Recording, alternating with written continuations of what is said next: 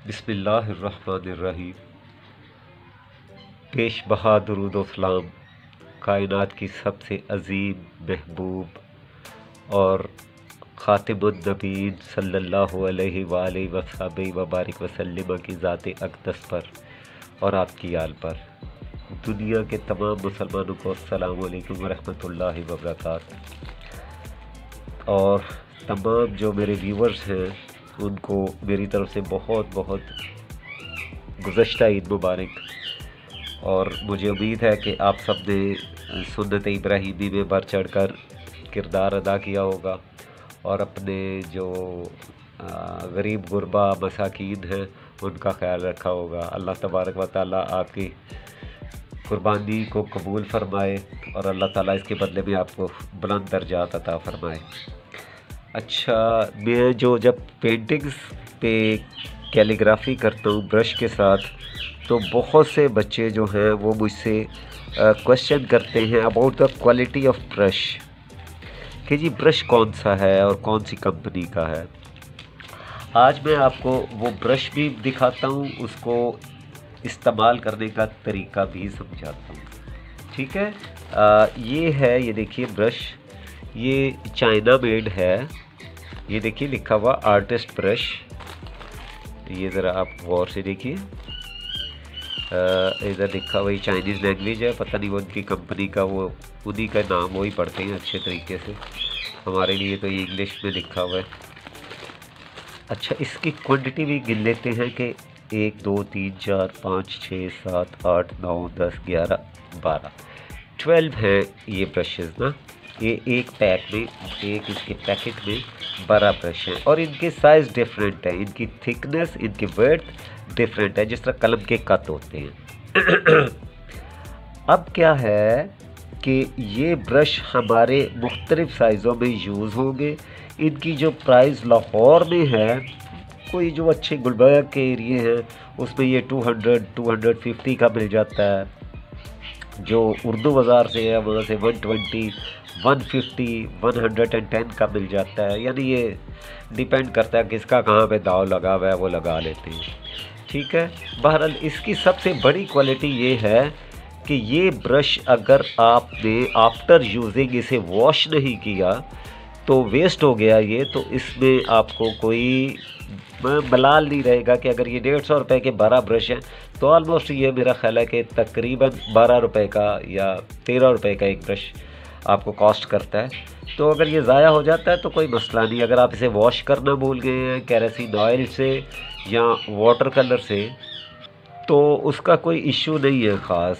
बस आपने इस चीज़ को जहन में रखना है कि इससे हमने, अगर ये हमारे वज़न तीन महीने में एक सौ एक सौ पचास या टू हंड्रेड का भी हम इसे ख़रीदते हैं। तो इसके ब्रश जो हैं हम तीन महीने यूज़ कर लेते हैं। तो मेरा ख्याल है कि बहुत अच्छा है ये।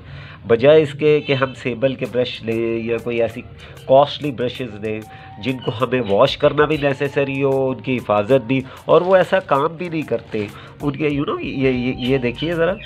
इनके जो बाल हैं ये बड़े सॉफ्ट और बड़े इसमें ग्रिप है बड़ी। ये फ़ौर अपनी जगह पे आ जाती है। यूज़ के बाद, ये देखिए, ये फ़ौर अपनी जगह पे आ गए ब्रश के बाल। अच्छा और इसमें एक क्वालिटी ये भी है। ये भी इस पर देखिए दिखा ना पेंटिंग ब्रश ये डिपेंड करता है आपको, इसके भी डिफरेंट थिकनेस एंड वो साइजेज हैं। एक, दो, तीन, चार, पाँच, छः, सात, आठ, नौ, दस, ग्यारह और ये भी बारह ही है। तो अब ये जो ब्रश के, ये बारह ये ब्रश हैं, इनमें से आपको किसी भी, जो भी साइज़ पेंटिंग पे कैलीग्राफी करने के लिए रिक्वायर्ड है, या पेपर पे भी तो ये आप इसमें से सिलेक्ट कर लें। और इसका जो तरीक़ाकार है राइटिंग का, वो भी मैं आपको ज़रा समझा दूँ कि आपने ब्रश के साथ कैसे लिखना है। अभी यहाँ से ये देखिए। ये अब हम, ये देखिएगा, ये हमने इसे कलर लगा लिया और कीजिए देखिए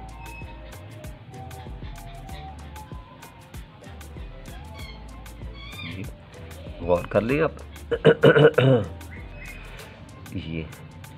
अब अब इसमें क्या है ऐसा कि आपने सिर्फ़ सबसे अहम जो चीज़ है वो ये है कि आपने इस बात का ख्याल रखना है कि आपको, आपके हाथ में फोर्स है। अगर तो हाथ, आपके हाथ में ये फोर्स है तो फिर आपको कोई इशू नहीं है कैलीग्राफी करने में। ये जो आर्टिस्ट फिगर है, इसे आर्टिस्ट फिगर कहते हैं, ये आपको सपोर्ट करेगी।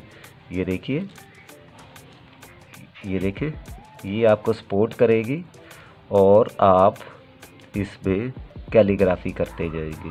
ठीक है? अब हम इसे देखते हैं कि क्या हमारे लिए ये जो ब्रश हैं, इसके अलावा भी हम इसे किसी तरीके से यूज़ कर सकते हैं? ये मैं आपको बता देता हूँ। ये देखिए, अगर इस ब्रश पे हमें कंट्रोल नहीं हो पा रहा तो ये एक इसकी पत्री है।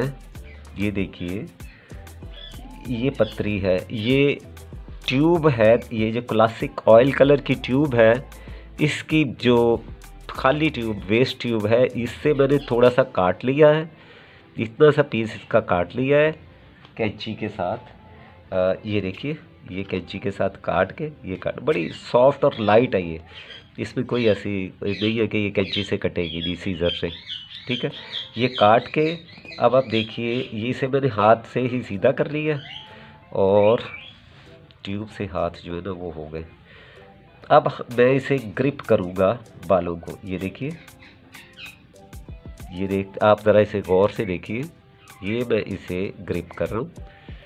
अब ग्रिप करने के साथ ये देखिएगा ये ग्रिप करने के बाद अब मैं इसे हल्का सा हैमर के साथ ये गौर करें आ, ये देखिए हैमर के साथ हल्का सा पंच कर दूँगा इसे प्रेस कर दूँगा ताकि ये इवनली बैल बैस बैठ जाए। अच्छा इसके बाद ये जो इलेक्ट्रिक टेप है ये देखिए इसको मैं यहाँ पर इसके ऊपर हल्का सा कर दूँगा ताकि एक तो ये किसी भी तरीके से अगर पेंटिंग पे लगे या पेपर पे लगे तो वो कैनवस या पेपर को डिस्टर्ब नहीं करे। दूसरा ये कि, ये देखिए, ये बार बार यहाँ से ड्यूरिंग द यूज़ जब तक आप इसे इस्तेमाल करते रहेंगे, अब ये हिलेगी नहीं। ये देखिए, अब ये देखिए, ये ये देखिए, ठीक है? अब आपको ये फ्रीडम है क्योंकि ब्रश कभी भी लेटा के यूज़ नहीं किया जाता। ये तो ऐसे खड़ा करके पेंटिंग को हाफ़ ईजल पे लगा के इस तरह यूज़ किया जाता है। क्योंकि मुझे आप लोगों को, आप बच्चों को समझाना था, इसलिए मैंने ये आपको इस तरह समझाया। ठीक है? अब आप देखिए, अब इसमें कुछ जो हल्के हल्के अनइवन बाल है इसके। आप देख रहे हैं, जो वो नाहमवार सी सतह है बालों की। उनको मैंने कैसे इक्वल करना है? सीज़र के साथ ज़रा गौर कीजिएगा आप। ये देखिए। अब ये बिल्कुल इक्वल करके इन्हें ये देखिए। ये अब इक्वल हो गए। अब जो इसमें से जो रेशे निकल रहे थे कैलीग्राफी के, ये देखिए। ये ये भी नहीं निकल रहे। ये देख लें आप, अब ये देख लें। बिल्कुल कलम की तरह राइटिंग आ गई इसमें। ये देख लें। ठीक है। अब यहाँ पे जो नुक्ते लगे हैं, इन नुक्तों को भी और आप ये जूम करके देख सकते हैं। इन्हें ये देखिए। इन नुक्तों में और, ये देखिए, इस नुक्ते में क्या फ़र्क है कि इसमें रेशे बाहर नहीं आए हुए, इसके निकले हुए नहीं है। ठीक है? अब यही इसका तरीक़ाकार है कि आपने इसको ग्रिप करके, अगर आपसे ये हैंडल नहीं हो रहा अगर आप इसे प्रॉपर तरीके से नहीं कर रहे हैंडल पा रहे तो आप इसे ग्रिप कर लीजिए। दूसरा ये कि वो बच्चे जो सीखना चाहते हैं कि ब्रश को पकड़ना कैसे है। ब्रश को बिल्कुल आपने वैसे ही पकड़ना है जैसे आप पेन पकड़ते रहे हैं बचपन में। बिल्कुल लकड़ी की कलम या पेन जिस तरह आप पकड़ते हैं, बिल्कुल उसी तरह आपने वो ये ब्रश को होल्ड करना है ठीक है? इसका ख़ास ख्याल रखना है कि ये कोई इसमें स्पेशलिटी नहीं है कि जी इसको आप यूँ ही पकड़ें और इसको यूँ ही पकड़ें। इस कहते हैं कि जी यूँ पकड़ दें, यूँ पकड़ दें। हर किस मैं नहीं, मैं इस बात को नहीं मानता, मैं बिल्कुल इसको नहीं मानता कि ये जो वो कलम का, ब्रश का तरीका है, वो कोई स्पेशल हो। ये इसका वही तरीका है कि जिस तरह आप इसे ब्रश को पकड़ते हैं और उसके बाद ये आर्टिस्ट फिंगर है, ये आपका जस्ट होल्ड यू के ये आर्टिस्ट फिंगर है, इसको आप इस पर रख के, इसको पूरी सपोर्ट दे के, चाहे आप ये देखिए, इसके साथ आप एक वर्टिकल या ये, अब देखिए, ये हॉरिजेंटल लाइन भी तकरीबन अपनी ज़रूरत के लिए लगा सकते हैं इसमें। ये देखिए ये देखिए। कब आपको ये विदाउट स्केल आप जो पेंटिंग में रिक्वायर्ड है, वो आप कर सकते हैं, ठीक है? इस बात को बस आप ये जहन में रख लीजिए कि इससे यही ब्रश अगर इतना मोटा है बेटा ये ब्रश पकड़ाइए मुझे। ये ब्रश वाला जो जार है हाँ जी, ये पकड़ा दीजिए इस तरफ़ से। हाँ जी, शाबाश। थैंक यू थैंक यू अच्छा ये देखिए। ये ब्रश अगर आप ये वाला ब्रश भी यूज़ कर रहे हैं, ये ब्रश भी यूज़ कर रहे हैं even this thick this this type of इसकी थिकनेस जो है तकरीबन टू एंड हाफ़ इंचज़ की। इसको भी अगर ये आपसे हैंडल नहीं हो रहा तो आप इसको भी ग्रिप कर सकते हैं। यहाँ पे पत्री के साथ ग्रिप करके उसके ऊपर आप टेप लगाएँ। ये थ्री इंचज़ का ब्रश है, ये देखिए थ्री इंचज़ लिखा हुआ। मैं तो खैर, अल्हम्दुलिल्लाह, क्योंकि मेरा तजुर्बा है, मुझे ग्रिप की ज़रूरत नहीं होती। लिहाजा जो न्यू कमर्स हैं या जो नए बच्चे सीख रहे हैं, वो मेहरबानी फरमा के इसको ग्रिप करें और ग्रिप करने के बाद इसको यूज़ करें। इन ताला उन्हें किसी किस्म की इसमें कोई प्रॉब्लम नहीं होगी। अपनी दुआओं में मुझे हमेशा याद रखिएगा। मेरी दुआओं में आप हमेशा रहते हैं। अल्लाह ताला की ज़ात बबरकत से दुआ है। कि वो आपको अपने हिफ्ज़ मान में रखें और किसी भी तकलीफ़ से और दुख, बीमारी, परेशानी से बचा के रखें हम सबको। असलकम वरहमल वर्का